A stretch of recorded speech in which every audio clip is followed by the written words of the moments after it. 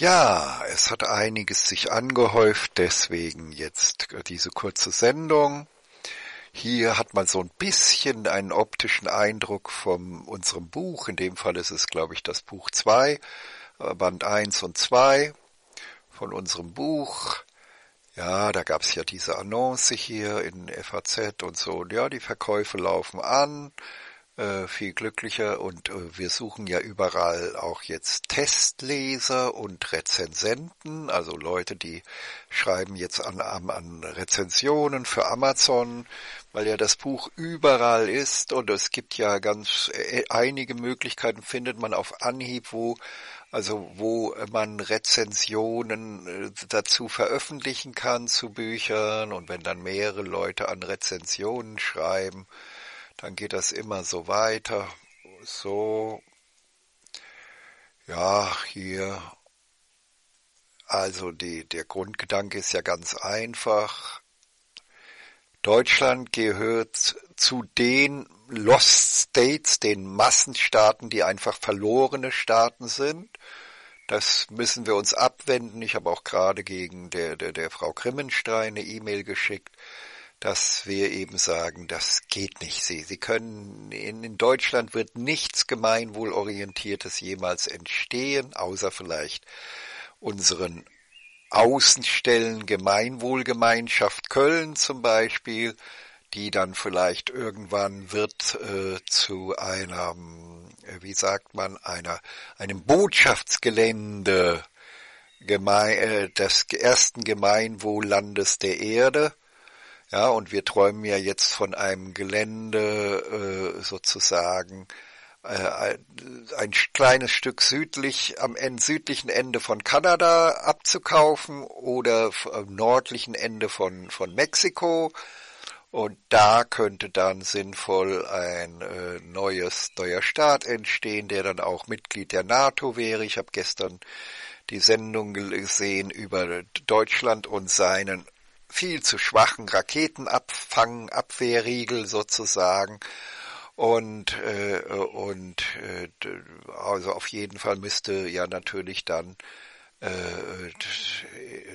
ganz ohne Schutzbündnis geht's leider nicht. Deswegen liegt natürlich dann die NATO nahe, direkt neben der USA und Kanada und oder Mexiko und USA. Dann kommt natürlich nur die NATO in Frage. Und dann muss äh, eben vielleicht auch das Gemeinwohlland äh, fähig sein, vielleicht mit drei technisch hoch überlegenen kleinen Atomraketchen die vielleicht dann solche angreifenden Städte wie Moskau oder Peking oder sowas vernichten können, ohne dass es irgendjemand technisch in der Lage ist, den Angriff, also das dann abzufangen. Dann können wir natürlich nur hoffen, dass auch die NATO hoffentlich nicht weiter sich in Angriffsstrategien bewegt, aber die in dieser Zwickmühle lebt man dann halt. Ne? Das ist äh, sozusagen äh, man muss sich einem Militärbündnis anschließen, wenn man nicht äh, abgeschlachtet werden will wie die Indianer, Indios und äh, der, die Ukraine und der Irak und so weiter. Und äh, äh, nur dann, wenn man da Mitglied ist, hat man einen gewissen Schutz und äh, und dann muss man sich leider auch dran beteiligen und muss eben auch in der Lage sein, muss einen eigenen äh, kleinen super Hightech Raketenschwärme Abfangriegel haben. Ja, gestern in der Sendung war es, klang es so, als würde es 100 Kilometer äh, Reichweite ausreichen, um dann im All die Atomraketen äh, äh, äh gefahrlos detonieren lassen zu können wenn von Angreifern, aber sagen wir mal doch maximale Reichweite 200 Kilometer, sagen wir. Da ist für alle Eventualitäten genug äh, Schutz und mit 200 Kilometer können sie kein anderes Land angreifen, aber sie können sich verteidigen und wenn Sie dann noch drei Nadelstrichraketen haben, die hundertprozentig ihr Ziel erreichen, weil sie technisch weit überlegen sind allem anderen auf der Welt, was es an Abwehrsystemen gibt, dann sind sie geschützt und dann brauchen sie sich um, um diesen Quatsch des, der leider kapitalistischen kriegerischen Welt dann keine Gedanken und Sorgen mehr zu machen. So. Und dann, äh, ja, dann gehe ich hier mal weiter, ja, also hier in Deutschland kriegt man eine gute Partei nicht mehr durch, das geht nicht, dazu sind die Menschen halt zu unvernünftig, kriegen ja noch nicht mal ein Wahlbündnis durch. Ja, heutige kurze Vorlesungen hier, das, das, das bin ich, der ja also quasi äh, äh, der Anreger der, äh, der des Botschaftsgeländes des ersten äh, Gemeinwohllandes der Erde, ersatzweise der Gemeinwohlgemeinschaft Köln ist, als Inspirator sozusagen. Ja, und so viel jetzt erst einmal dazu. Dann hake ich jetzt einfach nur ab, was sich angestaut hat, weil heute Abend gibt es wahrscheinlich wieder Talkshow und da will ich den Kopf frei haben von den Sachen, die noch unerledigt sind. Also, gehen wir noch mal, mal auf den Wahnsinn, den völligen Wahnsinn der Rechten ein. Ja, sozusagen diese, diese, diese völlig blödsinnige Vorstellung, dass die Arier besser sein könnten, die Herrenmenschen sein könnten und alle anderen Untermenschen sein könnten. Äh, dass äh, sozusagen, wenn schon irgendeine Kultur oder irgendeine Menschengruppe oder irgendeine biologische Gruppe überlegen ist einer anderen, dann ist das immer nur minimal. Das heißt, die Normalverteilung der anderen biologischen Gruppen liegt dann höchstens so, dass man hier, dass sie hier liegt, also etwas weniger, also etwas nach links verschoben. Ja, Sie müssen sich jetzt vorstellen, diese Normalverteilungskurve, diese Wanderdüne, ein, ein, da ein Millimeter nach links verschoben, zwei Millimeter nach links verschoben, drei Millimeter nach links verschoben. Und mehr wird es nie geben, weil ähm, auf der Erde die Evolution immer dazu führt, dass es in jeder Sozietät sehr kluge gibt und sehr wenig kluge. Aber eher ist zu befürchten, dass die Deutschen eher zu den Dümmeren gehören werden, dass also deren Normalverteilung eher so aussieht. Also, tja, eher, eher so, also dass die Kurve so verläuft und jetzt hier schon abkippt und äh, Deutschland weniger kluge hat als andere Staaten der Welt, ja, oder andere Bereiche der Welt. Und äh, also sozusagen, ich sage immer so, jede Form des Rassismus löst sich in Wohlgefallen auf, wenn ich mir klar bin, dass die klügsten aller Erdteile eher eine Gruppe bilden, nämlich die sind die Klugen. Und das sind kluge Afrikaner, Chinesen, Inder, kluge Amerikaner, kluge Deutsche, alle gehören sie in eine Gruppe.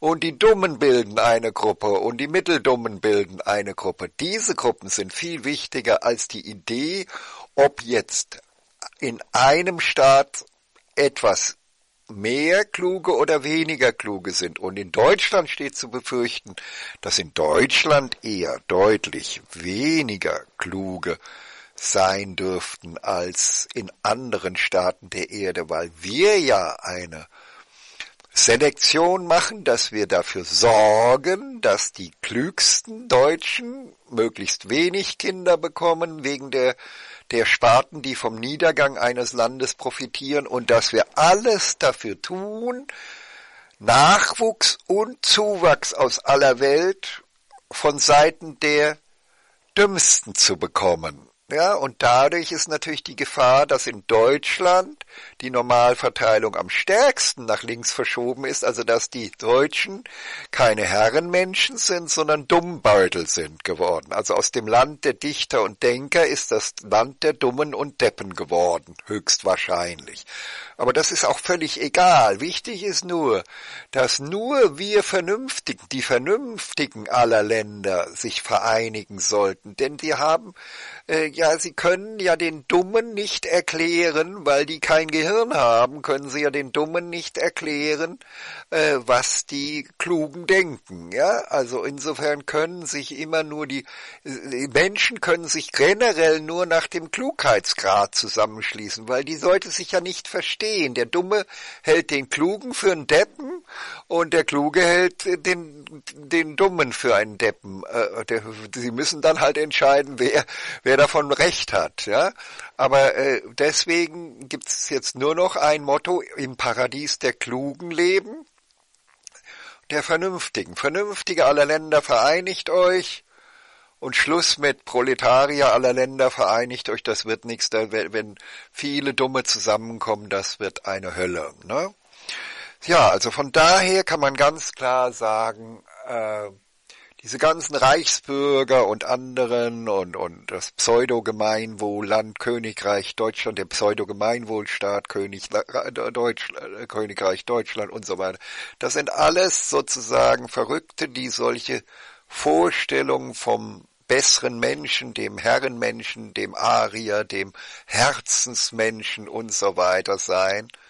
Äh, aber wie gesagt, noch einmal deutlich zu werden, es gibt niemals, wird es auf der Erde eine Situation geben, wo ein Staat zum Beispiel Menschen hat, die von der Normalverteilung hier liegen und alle anderen klüger sind und besser sind als diese da, ja? Das wird es nie geben, denn so weit auseinander können sich Normalverteilungen normalerweise nie verschieben. Also da müsste schon ein Weltwunder geschehen, dass es dann, also was möglich ist, dass eben die Schimpansen, dass deren Normalverteilung äh, hier läuft, so dass also alle Menschen klüger sind als alle Schimpansen. Das kann vielleicht sein. Äh, oder alle Gorillas, ja aber niemals innerhalb einer Art wie Homo, äh, äh, Homo sapiens beziehungsweise Savannenbonobo. Da, wir liegen da alle so dicht beieinander, dass es immer nur so ist, die klügsten aller Bereiche der Erde, Afrika, Indien, China, gehören in eine Gruppe und die Dümmsten gehören in eine Gruppe und die Mitteldummen gehören in eine Gruppe und so weiter. Nur solche Gruppen können sich zusammentun und wenn sich dann ein neuer Staat der Klugen, der Vernünftigen zusammentut, dann ist das die einzige äh, Chance, die da eine Rolle spielt. So, dann ist das erledigt. Und dann geht's weiter. Also die NGOs die sogenannten Weltsozialsparten, die hetzen mit ihren Zentralirrtümern die Jugendlichen auf, Fridays for Future, letzte Generation und so weiter, zu sinnlosen Aktionen, die Spenden begünstigen und halten sie von der Unterstützung der SIP-Systemlösung GG Kombi des Weltrates und der Next Scientists for Future ab. Das ist wie die NGOs wirken. Die NGOs sorgen dafür, dass die Weltprobleme erhalten bleiben, denn sie leben sehr gut von diesen Weltproblemen und den Spenden, die dadurch sammelbar sind. Ne? Ja, ein ganz anderes Thema. Ja, also Adoption ist in einem Gemeinwohlland natürlich keine Lösung, denn Adoption bedeutet ja, dass auch ein Kind adoptiert werden kann, das eigentlich zu dumm für diese Welt ist, ja, und die Eltern das erst nicht gleich merken, ja, und äh, äh, äh und denn zwar ist die Mutter dann bei der durch die Adoption das gescheiterte Kind los, aber nicht die Gesellschaft, denn die Gesellschaft muss dann eventuell ganze Generationen ganze Nachfolgegenerationen von dummen, nicht arbeitsfähigen Menschen durchfüttern. Und äh, da, da sind dann verglichen damit Haustiere weniger schädlich für die Gesellschaft. Aber wie gesagt, in einem Gemeinwohlland soll ja das Sozialleben wieder so hochgefahren werden, dass kein Mensch mehr den Ersatzbefriedigungsversuch eines Haustiers wird brauchen, weil er nämlich so liebevoll mit anderen Menschen zusammenlebt, denn äh, äh, schauen Sie nur, haben die Bonobos Haustiere? Nein. Ne? Also das heißt, von daher ist äh, der Punkt klar. Ja, und das nochmal ganz kurz, was ich hoffe, vielleicht dann heute Abend auch nochmal wiederhole, ist, dass also unser Weltbild als Theorie, die Sie gerne in Frage stellen dürfen. Sie können gerne sagen, nein, da irrt ihr euch, liebe, lieber äh, äh, Weltrat Next Scientists for Future, dass wir also einmal hier unten links bei der Normalverteilung die Dümmeren haben und zu diesen Dümmeren gehören alt, alle alternativen Denker. Alle alternative Denker gehören zu den dümmsten der Weltbevölkerung. Die entwickeln, die werden von den Sparten, die vom Niedergang eines Landes profitieren, aufgehetzt zu Verschlimmbesserungskonzepten, die aus einem Land wieder tendenziell eine Art DD scheiternde und kaputtgehende DDR machen oder einen Hitlerstaat. Also äh, diese ganzen Alternativen haben immer nur Konzepte im Kopf, die das Land noch mehr ruinieren würden als dieser blöde pseudodemokratische Kapitalismus, den wir haben. Und in der Mitte liegen die, in der Mitte der Normalverteilung liegen die kapitalistischen mitteldummen Bürger und die sind immerhin so klug, dass sie erkennen, dass die Verschlimmbesserungskonzepte äh, der, der, der alternativen Szenen Spinnereien sind, die zu noch mehr Elend führen würden als der Kapitalismus. Und dann ist aber auch das Problem, dass natürlich die, die äh, äh die mitteldummen Bürger natürlich und Wählenden natürlich nicht klug genug zu erkennen, zu, sind zu erkennen, dass der Weltrat und die Next Scientists for Future mit dem Gemeinwohllandkonzept mit der GG-Kombi, der Gemeinwohlwirtschaftsordnungs äh, äh, äh, der Gemeinwohlökonomie, Gemeinwohlwirtschaftsordnungskombination GWÖ, GWO Kombi, GG Kombi kurz, GG Kombi, äh, natürlich das, das viel bessere Konzept als den Kapitalismus haben. Und deswegen können nur die Klugen der Welt zusammen die Gemeinwohlländer starten. Das geht aber nicht mit denen hier zusammen. Also wir müssen, wenn wir das Gemeinwohlland gründen, diese hier ganz bewusst abhängen und die wollen wir sie reinlassen? Nö, nee, wir wollen sie nicht reinlassen. Die Dummen lassen wir in den Massenstaaten, die können weiterhin sich äh, gegenseitig alle ihr Leben zerstören und die klugen, vernünftigen aller Länder so müssen sich vereinigen, Gemeinwohlstaaten gründen. Und bei den Vernünftigen ist ja auch das große Geld der Welt, also müsste das doch irgendwie mit dem Teufel zugehen, wenn man da nicht wirklich ein, ein Stück mit Kanada, mit der Regierung, wenn da nicht ein Jeff Bezos, ein Mark Zuckerberg oder wer auch immer dann mit den Regierungen reden kann von Mexiko und, äh, und da einen Deal ausmachen kann, wie es äh, zu einer Abtretung eines kleinen, äh, unabhängigen neuen Staatsgeländes für das erste Gemeinwohlland der Erde kommen sollte mit einer, einer automatisch echten Demokratie. Hm?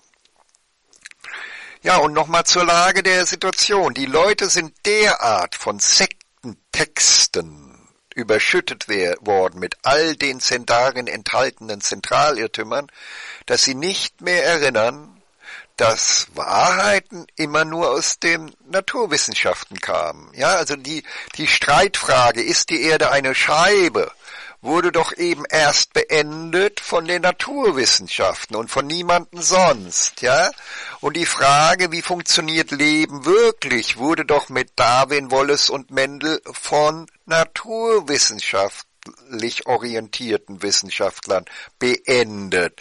Und äh, äh, jetzt wird die Frage, wie Gesellschaften und Psyche und Leben und Glück funktionieren, auch wieder nur von Naturwissenschaftlern beantwortet. Und das ist halt der, der, der Punkt. Und das machen diese ganzen Sekte, Sektentexte vergessen. Ne? Äh, der Bürger, also ich fasse nochmal zusammen, der Bürger interessiert sich nicht äh, für die die Schenker, mit denen ich heute Abend wahrscheinlich wieder talke und andere Alternative, all die anderen äh, alternativen Verschlimmbesserungskonzepte, weil er ahnt, dass das ab Abgeben von gesundem Egoismus und gesunder Gier an der Garderobe kein brauchbares Zukunftskonzept oder Modell ist, ja? Der Bürger interessiert sich auch wenig für das Gemeinwohlland, weil er zu, dafür wiederum zu wenig Vernunft hat. Also er hat genug Vernunft, um die Unsinnigkeit der Verschlimmbesserungskonzepte aller Alternativler. Also Sie können jetzt wirklich sagen, alle Alternativler in einen Topf, das ist erledigt, die sind, gehören zu den unvernünftigsten der Erde und die, der normale Durchschnittsbürger gehört zu den Mittel, Mittelunvernünftigen und, äh, äh, und, und leider ist, sind diese, die Massen, die Wählermassen auch nicht vernünftig genug, um sich zu engagieren für die Umwandlung in ein Gemeinwohlland. Ne?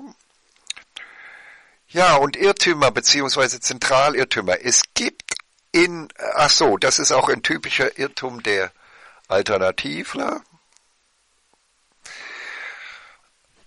Es gibt im Gemeinwohlland, ja, kurze Pause.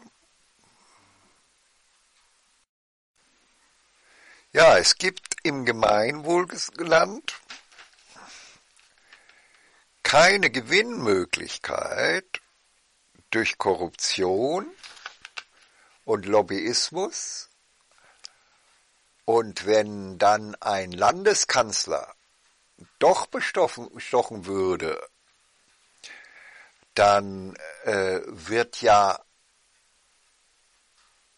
dieses dessen Gesetz nach einem Jahr von seinem Nachfolger korrigiert.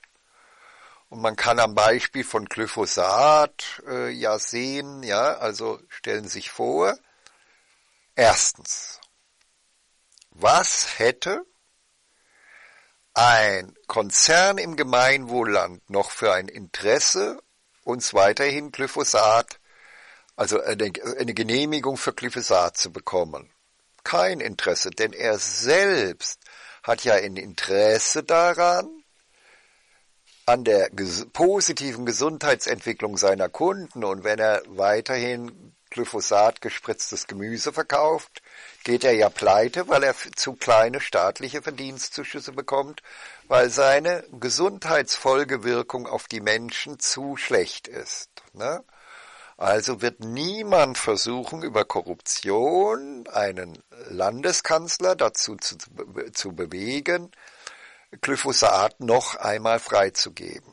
Ja, das heißt also, im Gemeinwohlland fehlt das Motiv für Korruption und die Gelegenheit, denn die vorgezogenen Neuwahlen strafen jeden, der doch irgendwie sich irgendwo bestechen lassen würde, äh, dass äh, die sorgen dafür, dass der äh, zuverlässig abgewählt wird und dann auch diese Parteien und so weiter längst dann aus der Landschaft verschwunden sind und nur noch Parteien übrig bleiben und Politiker übrig bleiben, die den Menschen optimal Gutes tun und gut tun. Ja,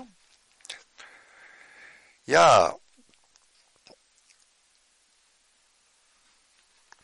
dann ist äh, im Krimi zeigt sich, also nur mal um aufzuzeigen, dass es eben auch andere andere äh, äh, Zentralirrtümer durchs Fernsehen verbreitet werden als die der Sozialsparten oder und so weiter, sondern ja, da ging es um einen Transmensch, einen Menschen, der äh, transsexuell werden wollte und so weiter. Und da sage ich zu der Fernsehsendung, die hat das Ganze sehr bejaht und so weiter und deswegen mein Kommentar dazu, aus Angst davor zu erkennen, dass ein transsexuell werden wollen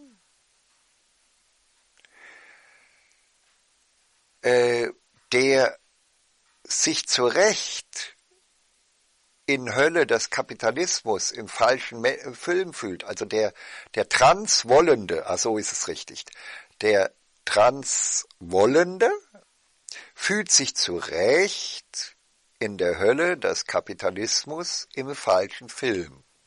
Nur kommt er zu der falschen Überlegung, dass man an seinem, dass er, die ist natürlich sehr ein schöner Zentralirrtum der Gesundheitssparten, denn die verdient ja an diesen Operationen ein Schweinegeld, ne?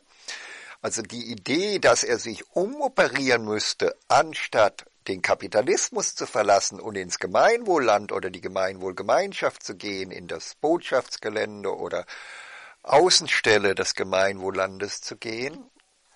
Stattdessen denkt er, er müsse sich umbauen, ja, äh, und, äh, und deswegen findet es dann auch der Fernsehsender, weil er ja gut befreundet ist mit den äh, Medizinsparten, die ja die Operationen gewinnbringend durchführen, findet man es toll, äh, in, den, in der Sendung, in dem Spielfilm, wenn jemand den verzweifelten Rettungsversuch der Geschlechtsumwandlung versucht. Aber ich habe noch nicht gehört davon, dass jemand damit wirklich rundum glücklich geworden ist, denn die Hölle des Kapitalismus ist ja noch da. Und die Interpretation, dass es nicht die Hölle des Kapitalismus ist, sondern die Tatsache, ich sei im falschen Körper, äh, dann äh, da, äh, da vermute ich, dass also da nicht das große Glück ist. Wenn mir jetzt die Leute sagen würden, dass sie sich jetzt also wirklich zehnmal glücklicher fühlen als vorher, dann kann man darüber nochmal nachdenken. Aber sonst gehe ich davon aus, dass das auch wieder nur ein Produkt der Zentralirrtümer ist. Ja, also bloß nicht erkennen, dass der Kapitalismus die Hölle ist. Ne? Denn das darf, da, darf ja ein Fernsehsender nicht zulassen, denn er verdient ja von im Rahmen des Kapitalismus gutes Geld und äh, äh deswegen darf er da äh, natürlich ein, ein, Fernsehsender darf natürlich immer nur sagen, toll, dass du dich umoperieren lässt, da verdienen dann die Medizinsparten dran und toll, dass du dich umoperieren lässt, denn unser Kapitalismus ist ja nicht schlecht, sondern, sondern äh, die Hölle, das ist die Tatsache, dass du im falschen Körper bist. Also das können wir ja durch Operation lösen. Ne? Äh, Hausarzt Gesundheitsgemeinschaften stehen ja, liebe Schenker, in dem Wettbewerb, wer ist der beste Kommunenstarter? Ja, also laut GG Kombi soll ja der, die Hausarztgesundheitsgemeinschaft das meiste Geld verdienen und die meisten Kinder bekommen, die die meisten Kommunen aufbaut. Also warum soll da jetzt irgendwas dran schlecht sein? Warum hängen und kleben diese, diese Schenkerbewegung an ihrer Vorstellung, man könne den Menschen, der Mensch könne befreit leben vom gesunden Egoismus und gesunder Gier, wobei die Schenker selbst alle auf Kosten der Arbeit und des Eigentums anderer Menschen leben. Denn sie erarbeiten sich nichts und alles gehört anderen. Also das heißt, sie, sie leben als Schmarotzer und reden davon, dass man doch selbstlos und ohne, sie sind also Folgen einem gesunden Egoismus und einer gesunden Gier und schmarotzen die Restwelt aus. Ja? So. Ja, und bei den Alternativlern besteht auch immer die Gefahr, dass die regelrecht Versager züchten und Loser zum Schaden aller züchten. Ne? Und das äh, bringt uns eben auch nicht weiter. Ne? Und dann sind die Schenker ja übrigens, haben sie sich auch verraten das letzte Mal, manchmal erfährt man erst nach vielen Jahren die Wahrheit, dass es eigentlich Planwirtschaftler sind. Sie gehen von einer, äh, wir haben ja auch einen Lenkungsaspekt oder einen planwirtschaftlichen Aspekt, aber nur um die Zielrichtung. Also wir, wir zwingen quasi, wir geben eine Lenkvorgabe, nämlich Du musst, wenn du Geld verdienen willst, Wohlfühlen, Gesundheit, Langlebigkeit und Wohlstand aller Kunden, Mitarbeiter und Anwohner mehren, sonst kriegst du zu wenig staatliche Verdienstzuschüsse und gehst im Wettbewerb pleite. Und danach, also das heißt, bei uns wird nur oben gelenkt und der Rest ist Wettbewerb. Und die, äh, die Schenkerbewegung, die wollen Planwirtschaft überall. Also das heißt, die wollen wieder den DDR-Murks einführen. Ne? Ja, und dann kam wieder ein Krimi, Krimi mit Sexualitätsunterdrückungszentralirrtümern. Da sollte ein, ein Polizist einen Nacherziehungskurs machen und sollte eben dort in diesem Kursus lernen, wie er eine bessere sexuelle Selbstunterdrückung hinbekommt und äh, eben jeden Annäherungsversuch an, an die Frauen aufgibt ne? und jede, jeden Flirtscherz aufhört. Ne? Sozusagen Beste ist Null Kontakt. Natürlich ist das Ergebnis von all dieser emanzipatorischen Bewegung, dass die Frauen auch einsamer werden, weil sie äh, keine Signale des Interesses mehr von Seiten der Männer bekommen und dass sie sich selber auch die, an die Männer auch wieder nicht rantrauen, weil ihnen das auch wieder als unschicklich verboten ist, kommt es dann zur Null-Sex-Situation und alle sind einsam. Ne? toll, wie diese Zentralirrtümer überall von den Medien verbreitet werden in den Spielfilmen. Ne? Ja, die Kontaktaufnahme zu möglichen Sexualpartnern wird so unterdrückt. Ja. So. Ja, und ansonsten sind wir dran mit den Buchhandlungen, aber es, äh, die Frage ist, gibt es einen klugen Buchhändler? Jetzt laufen wir die Strategie Testleser und Rezensenten und dann können wir den Buchhändlern die Rezensionen schicken und vielleicht sehen die dann die Sache so, dass sie doch mit diesem Buch äh, äh, gutes Geld verdienen können und deswegen ist der Preis zu Recht zu hoch, so hoch, damit äh, äh, äh die Leute dann auch wirklich die Buchhändler was dran verdienen, wenn sie sich den Rezensenten anschließen und das Buch empfehlen und die Rezensionen auch ausstellen und äh, so das Buch empfehlen und dann auch die Bücher verkaufen. Ja, und dann war wieder ein anderer Krimi, da war auch wieder die Sexualitätsunterdrückung, die Zentralirrtümer der Sexualitätsunterdrückung, äh, die ja letztendlich zum Beispiel den Konsumsuchtsparten dienen, sozusagen je weniger Sex, desto weniger Endorphine im Kopf und desto mehr Gier nach Ersatzbefriedigung durch Zigaretten, Alkohol, Süßigkeiten und so weiter.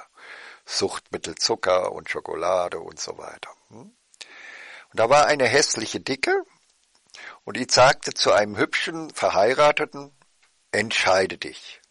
Anstatt zu genießen, dass sie als Hässliche auch mal was abbekommt an Liebe und Sexualität, wirkte voll der Zentralirrtum nur Monogamie ist erlaubt.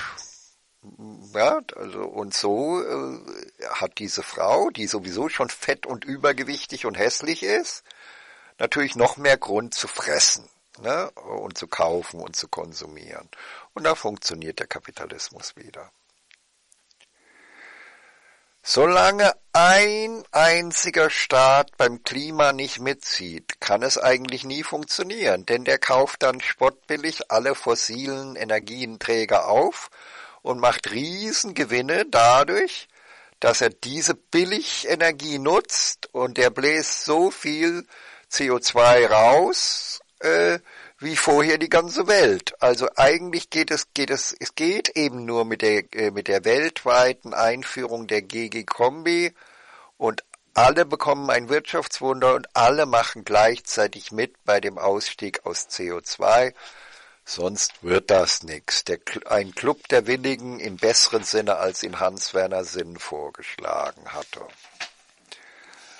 Ja, und die Sozial Spartler, also Zentralirrtümer der Sozialspartler wurden auch wieder von einem Krimi multipliziert. Sie merken, ich, wenn ich mich mal ablenken will, schaue ich nur noch Krimis, aber da ist genug, sind genug Zentralirrtümer drin. Ne? Und zwar, da wurde also gezeigt, äh, da wurde dann also gesagt, ganz klar gesagt vom Hauptprotagonisten der, der Sendung, Containern und Essen verschenken sind ja eine wichtige Sache für unsere Gesellschaft, eine gute, wichtige Sache. Dabei handelt es sich, ja, die sind wichtig, ja, zur Kundenerhaltung für Sozialspartler. Das, das ist nämlich zugleich eine Beschädigung des Lebensmittelhandels durch eine moralische Erpressung. Der Lebensmittelhandel wurde ja quasi überrumpelt durch die Zentralirrtümer der Sozialspartler, die natürlich den ganzen äh, Sozialfällen, den Armen, eine angenehme Hängematte mit lauter Nahrungsgeschenken bereiten will, ja, also quasi heutzutage, jedenfalls hier in Köln, brauchen Sie heutzutage eigentlich keinen Cent mehr für Essen auszugeben. Also alles, was die Leute zum Beispiel als Bürgergeld bekommen, können Sie für Drogen und, und Alkohol ausgeben, äh, äh weil Sie fürs Essen kein Geld mehr brauchen, weil nämlich anstatt da im Laden etwas, eine Kleinigkeit gesundes Gemüse einzukaufen, äh, werden jetzt überall die Leute mit Essensgeschenken überschüttet und Kleidungsgeschenken, sodass der Handel riesige Verluste macht aber dann natürlich von den Sozialspartlern nicht öffentlich an den Pranger gestellt wird. Das ist also quasi eine moralische Erpressung. Wir stellen dich als unsoziale Firma an den Pranger, wenn du nicht mitmachst bei unseren Tafeln und Foodsharings und uns nicht Essen schenkst oder Kleidung schenkst oder was auch immer. Und so funktioniert der Kapitalismus. Und äh, natürlich würde es in einem Gemeinwohlland weder Foodsharing, da würden strengstens verboten Foodsharing, Tafeln, Kleiderkammern und so weiter, denn alles muss etwas kosten. Äh, äh und äh, denn sonst leistet es auch der Esssuchtvorschub zum Beispiel und die ist ja brandgefährlich und so weiter. Und ja, ich gehe nochmal zurück auf unser Buch. Hier hat man wenigstens, ob ich habe, ich Besser wäre natürlich, ich hätte ein richtiges Foto von unserem Buch gemacht, aber hier sieht man so ein bisschen räumlich, kriegt man so einen leichten räumlichen Eindruck. In Wahrheit sieht es einfach schlicht und edel aus und hier 290 Seiten dick, der zweite Band, der erste Band 200 Seiten circa. Gut, und heute Abend dann in die Talkshow, da bin ich jetzt nicht mehr belastet mit den Altlasten der, der Dinge, die noch, äh, die ich jetzt schon erledigt habe. Tschüssi, bis bald.